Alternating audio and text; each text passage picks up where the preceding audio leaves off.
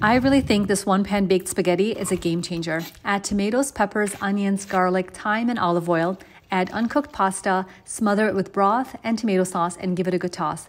Top it off with basil and cheese, then bake at 375 for 45 minutes. Stir, then bake again for 15 more minutes until the sauce thickens and the noodles soften.